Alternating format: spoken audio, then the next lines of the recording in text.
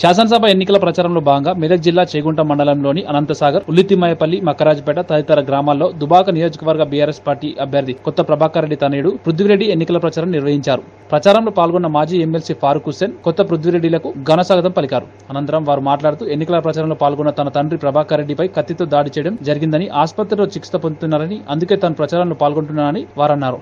దుబాక నియోజకవర్గ అభివృద్ధి చెందాలంటే కొత్త ప్రభాకర్ రెడ్డిని గెలిపించాలని తెలంగాణ రాష్ట్రం ఏర్పాటయ్యాక రైతు సంక్షేమం కోసం ఎన్నో సంక్షేమ పథకాలు ప్రవేశపెట్టడం జరిగిందని ఇల్లు లేని పేదవారి కోసం ప్రభుత్వం స్థలంతో పాటు ఇల్లు కట్టించి ఇవ్వడం జరుగుతుందని వారన్నారు. ఈ కార్యక్రమంలో Chegunta MP Masula Srinivas ZPTC Mudam Srinivas BRS జిల్లా నాయకులు రాజిరెడ్డి వివిధ గ్రామాల సర్పంచులు ఎంపీటీసీలు తదితరులు పాల్గొన్నారు. ప్రభాకర్ రెడ్డి గారు ఎవరైతే ఇప్పుడు దుబ్బాక నియోజకవర్గ మన బీఆర్ఎస్ పార్టీ అభ్యర్థి ఉన్నారో ఆయన ఇక్కడకి రావాల్సింది. కానీ మీకు తెలుసు పోయిన నెల ముప్పయో తారీఖు నాడు మన సూరంపల్లి గ్రామంలో ఆయన ప్రచారం చేస్తుండగా ఒక దుండగుడు వచ్చి ఆయనని కత్తితో ఇక్కడ పొడిస్తే ఆయన చిన్న పేగులకు ఆపరేషన్ జరగడం జరిగింది.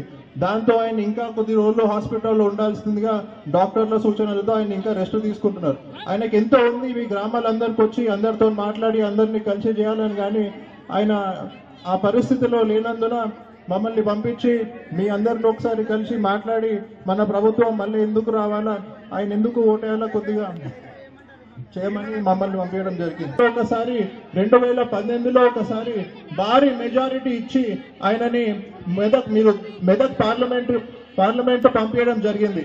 మీకు తెలుసు ఆ రోజు నుంచి ఈ రోజు వరకు ఆయన మన దుబ్బాక కోసము ఎన్నో నిధులు తీసుకొచ్చి కోట్ల రూపాయలతో ఎంతో అభివృద్ధి చేస్తున్నాడు. ఆయనకి ఏడు నియోజకవర్గాలు ఉన్నా కానీ ఆయన దుబ్బాక ఆయన సొంత గడ్డ సొంత ఊరు ఉన్నది కాబట్టి దుబ్బాకకి మరీ ప్రత్యేకంగా ఇంకొన్ని నిధులు తీసుకొచ్చి చాలా పనులు చేసుకోవడం జరిగింది. అలాగే ఇప్పుడు మీ ముందుకి మొదటిసారిగా ఎమ్మెల్యే అభ్యర్థిగా రాబోతున్నాడు. ఇప్పుడు జరిగే ముప్పయో తారీఖు ఎన్నికలలో మీ అందరూ ఓటేసి మన ప్రభాకర్ రెడ్డి గారిని ఎమ్మెల్యేగా చేసుకుంటే మనకి చాలా మేలు జరుగుతుంది. మీకు తెలుసు ఆల్రెడీ మొన్న మూడు సంవత్సరాల క్రితం ఇక్కడ ఉప ఎన్నిక జరిగింది. ఉప ఎన్నిక జరిగిన నాడు ఏమైంది? ఉప ఎన్నిక ఎన్ని- జరిగిన నాడు ఒక బీజేపీ ఎమ్మెల్యే ఇక్కడ ఉన్నాడు. ఆయన వచ్చి ఏదో అన్ని మాయమాటలు చెప్పి ఒక సొంత మేనిఫెస్టో పెట్టుకొని దాంట్లో ఒక్కటంటే ఒక్కటి కూడా అమలు చేయకుండా వెళ్ళిపోయాడు. ప్రభాకర్ రెడ్డి గారే హరీష్ రావు గారే లేకపోతే కేసీఆర్ గారే చేసి తప్ప ఎవరు ఏమి చెయ్యలేదు అని చెప్పని చేస్తా నిన్ననే కేటీఆర్ గారు హరీష్ రావు గారు చెప్పారు. ప్రజలతో అడుగుర్రి అక్కలతో అడుగుర్రి డబ్బులతో అడుగుర్రి మీకు ఇరవై నాలుగు గంటలు కావాలా? కాంగ్రెస్ కరెంట్ కావాలా?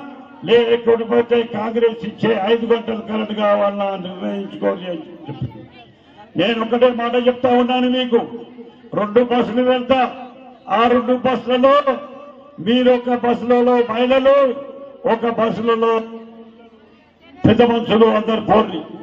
మహారాష్ట్ర పోర్రి బీజేపీ ఉన్నది కర్ణాటక పోర్రి కాంగ్రెస్ ఉంటుంది కర్ణాటక బిదర్లో పోర్రి దగ్గరనే ఉంటుంది నూట యాభై ఇక్కడ నుంచి. ఆ నూట కిలోమీటర్ పోయినాక మీకు తెలుస్తుంది అక్కడ తెలుసుకోరాని కిలో బియ్యం ఉన్నాయా? సన్న ఇరవై నాలుగు గంటలు కరెంట్ ఇస్తుందా? రైతు బీమా వస్తుందా? ఏదైనా వస్తుందా అని కర్ణాటకలో ఇచ్చిరు అని అంటే కాంగ్రెస్ వాళ్ళు? మనం వాళ్ళకే ఓటేద్దాం. మహారాష్ట్రలో బీజేపీ వాళ్ళు చేస్తున్నట్టే ఈ పనులన్నీ